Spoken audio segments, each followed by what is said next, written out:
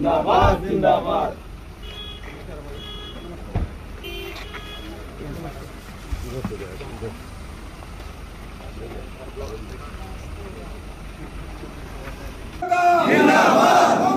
कार्यकर्ता विकास भैया जिंदाबाद। जो अपनी जान की परवाह नहीं किया और जन सेवा में लगा है वो दुनिया का कोई भी काम कर सकता है।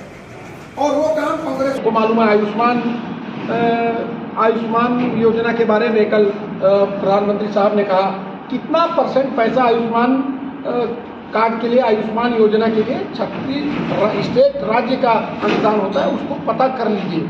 साथ ही साथ छत्तीसगढ़ में साढ़े चार साल में जो सरकार ने काम किया है, जो ऐतिहासिक काम किया है, मैं समझता हूँ, प्रत्येक व्यक्ति को फ़ायदा पहुँचाने का काम ये सरकार ने की है। अगर ये मंशा भारतीय जनता पार्टी की होती तो पंद्रह साल में एक भी आत्मानंद इंग्लिश मीडियम स्कूल आपने देखा एक भी स्वास्थ्य के ऐसे केंद्र देखे जहाँ हमारा अस्पताल, हमार क्लिनिक जैसी योजनाओं को आपने देखा, पैंतीस किलो राशन, यही कांग्रेस की सरकार दे रही है। पंद्रह साल भारतीय जनता पार्टी को मौका मिला था, लेकिन उन्होंने नहीं किया। डेवलपमेंट, चाहे जिला बनाने की बात हो, चाहे तहसील बनाने की बात हो, ये सब काम अगर किसी ने किया है, छत्तीसगढ़ राज्य बनने के बाद यहाँ की जनता ने सोचा था कि हमारा राज्य बनेगा, हमारे मौलिक अधिकार हमको मिलेंगे, हमको हक मिलेगा, लेकिन वो भारतीय जनता पार्टी नहीं दे पाई।